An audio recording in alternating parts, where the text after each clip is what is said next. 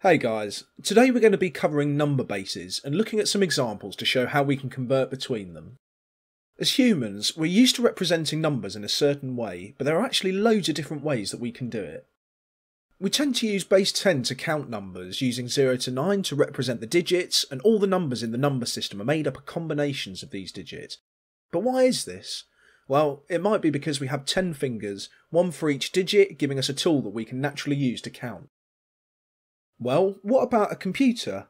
Seeing as they don't have any fingers, it might be easier for them to represent numbers in a different way.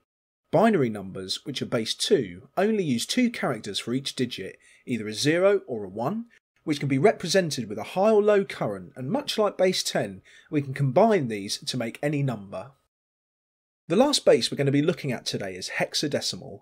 Hexadecimal is base 16, this means we have 16 different digits to represent a number, as with base 10, we have 0 through 9, and then A to F to represent decimal numbers 10 through 15. So we end up with a number that might look something like this. The number might not mean anything to you at the moment, but we'll come to understand it a bit later in the video.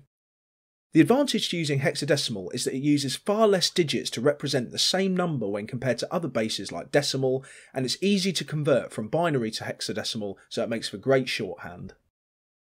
So we're going to start out by taking a look at how we can convert binary numbers to human readable decimal numbers.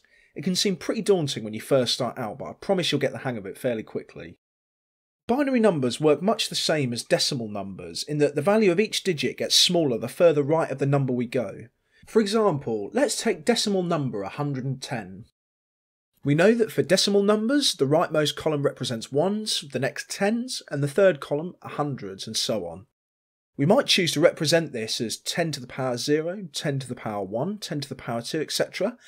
And the same is actually true for binary numbers, except because they're base 2, rather than 10 to the power 0, it's 2 to the power 0, 2 to the power 1, and so on.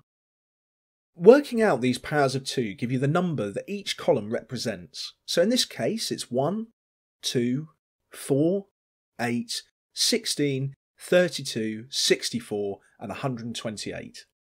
We're using 8 digits to represent the binary number as it creates a whole byte of data. Knowing this, we can work out the decimal equivalent of this binary value. We do this by simply adding together the values of the columns containing a 1, while ignoring the columns containing a 0. So in this case, we'll have 64 plus 32 plus 8 plus 1, which gives us a result of 105.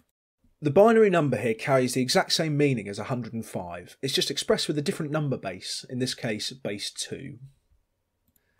Now that we know how we can convert binary numbers into decimal, let's take a look at it the other way round.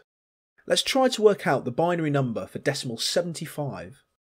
This process is done working our way from left to right, checking if each possible binary value is less than or equal to our target value, which is 75. We'll start at the leftmost column and check if the value is less than or equal to our target number, which in this case it isn't, so we'll put a 0 in that column. Moving on, we'll see that 64 is less than 75, so we'll set this column to a 1 and subtract 64 from our target number to tell us how far off the current binary value is that we've got from our target number. After this subtraction, we can see that the binary number still needs an extra 11, so now when we're doing the comparisons, instead of checking if a column is less than 75, we'll check if it's less than 11. 32 is not less than 11, so we'll put a 0 in this column and do the same for 16. 8 is less than 11, so we'll put a 1 in this column and again subtract 8 from 11 to give us 3. Now we're checking if these values are less than or equal to 3, which of course 4 is not, so we'll put a 0 in the column. 2 is less than 3, so we'll put a 1 in there, and once again take 2 away from 3 to tell us that we still need to make up 1 and obviously 1 is less than or equal to 1 so we'll fill that column in with another 1 and this gives us our final binary representation of 75.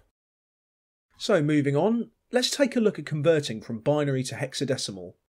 We know that one hexadecimal value can represent 0 to 15, much in the same way that we can do with a combination of four binary values. So we'll start off by splitting our binary value into 4-bit nibbles. So in this case, we'll have 1110 in the first nibble and 1001 in the other. So just like we did before, we're going to convert these nibbles into a decimal number so that we can work out the hexadecimal equivalent. For this first nibble, we'll have 8 plus 4 plus 2, which gives us 14. As we know, hexadecimal represents the numbers 10 through 15 with letters of the alphabet, so 14 in hexadecimal is E. We then do the same for the second nibble, which in this case is just 8 plus 1. 9 is represented the same way in both hexadecimal and decimal, so all that's left to do now is concatenate these two values and we're left with our final hexadecimal value. Let's say that we have a hexadecimal value and we want to work out what the decimal equivalent would be. The easiest path to doing this is actually to convert to binary numbers first. So we split our hexadecimal number into its digits and then convert those individually to binary nibbles. So we know that the binary for E, or 14 in decimal, can be worked out by checking if each binary heading value is less than or equal to our target and setting a 1 in the nibble if it is and a 0 if it isn't. The result of this is that we're left with 1110 for 14 and 1001 for 9. Now that we have these binary nibbles, we can concatenate them together in the same way we did for our final hex value, and when converting them to binary, we get 1110 1001. Then all we need to do is move from left to right, adding the binary heading values as we go, and you'll see here the E9 in decimal is 233. Finally, we're going to take a look at converting decimal to hexadecimal.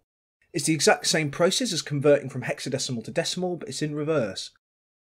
So we start with our decimal number, which in this case is 94. We convert it to binary, so 94 isn't less than 128, so we put 0 in the column. 64 is less than or equal to 94, so we put in a 1. 32 isn't less than 30, so we put in a 0. 16 is less than 30, so we put in a 1. And 8 is less than 14, so once again, we put in a 1. 4 is less than 6, so another 1. And finally, 2 equals 2, so the last one is in there, and there we have our binary number. We split this up into 4-bit nibbles, and add them together to give us our hex values. So 4 plus 1 is 5, and 8 plus 4 plus 2 equals 14, which as we know is E in hexadecimal. We then concatenate those together to give us our final answer, which is 5E. So we know what the different bases are, but how is someone just looking at this supposed to know if it's 10, 2, or 16? We can use subscript relating to the base to make it clear for what it is. So for binary, we'd have a 2, for decimal, it would be 10, and for hexadecimal, it would be 16. We hope this video has been useful. Of course, there are other ways of achieving some of these conversions, but what we've covered today are the simplest, and it should give you a good grounding on how to do these kind of operations. Thanks for listening.